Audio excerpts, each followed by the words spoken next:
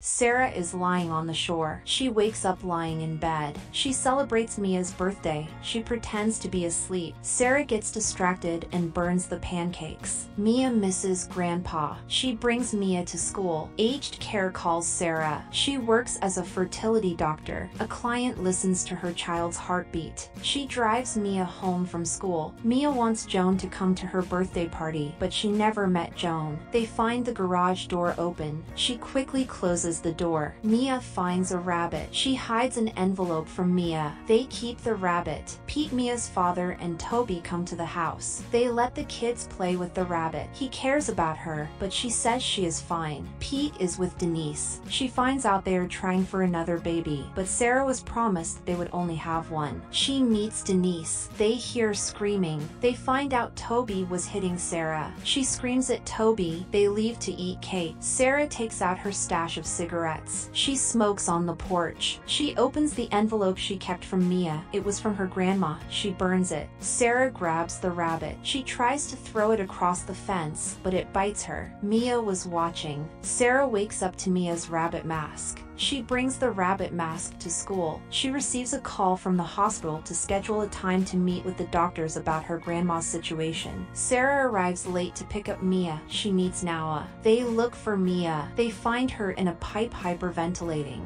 Sarah asks if someone is bullying her. Mia explains that she misses her mommy. She receives a call from aged care. Mia surprises her. They talk about grandpa's passing and Joan her grandma wasn't there for the funeral. She shows Mia photos of their family. She explains that she doesn't have any photos of Joan. She agrees to let Mia look for photos of Joan through grandpa's stuff tomorrow. Sarah goes into the garage to look through grandpa's stuff. Mia watches her. Mia steals the photo of Joan, but she tells her to go to bed. She is woken by Mia's nightmare. She finds the photo of Joan in her bed. She tells her to not take things that aren't hers. She finds a bruise on Mia's head. She asks to see Joan. She starts screaming that she wants to see Joan. Sarah drives Mia. She hits a bird. She pulls over. She looks for the bird. They can't find it. They arrive at the aged care facility. She realizes Mia's nose is bleeding. She discusses Joan's condition with Sandy, a worker. He explains that there will be additional fees. Her mother has been diagnosed with dementia. She has been forgetting to wash herself to eat. They meet Joan. She starts hugging Mia tightly and saying she loves her. Sarah takes Mia away. Mia still wants to see Joan. She struggles to put on her seatbelt. She slams the door on Mia's hand. They drive home. Sarah tries to explain to Mia why they left, but she runs off. She slams the door into her hand. She meets Extra, a teacher at Mia's school. She is concerned that Mia is troubled at home. She finds weird drawings. She advises for Mia to get professional help because she is struggling with the loss of her grandfather. She asks Mia to talk about what's been happening. Mia tells her to call her Alice. She decides to go home. She reads bedtime books to Mia. She finds drawings in the library book. Mia explains that she didn't draw in the book and that she needs to see Joan. Sarah explains that she is sick. She says Sarah isn't her real mom. He calls Denise to tell her she needs to reach Pete. She tells Denise she doesn't know what it's like to lose a family member. She looks at all the creepy drawings Mia has been drawing. She cries looking at a photo of dad. She opens a box of her father's clothing. She hugs it and cries. She calls herself a good girl. She hears running. The rabbit, Sarah gets angry at Pete for telling Denise her life story. Pete is worried about Mia because the school called. He tells her to let Mia have a relationship with her grandmother. They go to Joan's old house before she moved into aged care. It was where Sarah grew up. Mia opens the door. Mia runs around the house. Mia wants to sleep on a bed. Sarah drags Mia out. Mia colors with her rabbit mask for Joan. Her and Grandpa moved out. She doesn't like to talk about it because she gets sad. Sarah is confused why Mia wants to be Alice, if it was Pete or Denise. Sarah explains that she had a sister named Alice. She went missing when she was seven. Mia explains that she came back as Alice. She runs off. She finds Mia's nose bleeding. They sleep together. She checks Mia's drawing. She squeezes her wound from the rabbit. They go meet Joan again. Joan recognizes Sarah and Mia. Mia tells Joan her name is Alice. She slaps Sarah and runs off. She brings Mia to see the Alice headstone. She explains that Alice was pretty, they fought a lot. She would catch animals and bring them home. Mia starts screaming about how Alice didn't like hide and seek. She had to always hide and they never looked for her. Sarah calls Pete about Mia pretending to be Alice and it isn't nice. She finds Mia wearing Alice's things. She tucks Mia in. Sarah takes down all the pictures. Sarah leaves. While Mia watches, Sarah asks Joan to sell the house. Joan explains that it's Alice's home. Sarah tells her she wasted her life waiting for Alice. Sarah goes home. She can't find Mia. She runs around looking for her. She trips and finds a small tunnel. Mia spots her. She screams at Mia for running away. She tells Mia to pack because they are leaving. She apologizes Mia for screaming at her. She wakes up to Mia screaming. She tells her it's just a dream. She finds blood. She grabs scissors. She turns on the light and finds she cut Mia. Sarah goes into a warehouse.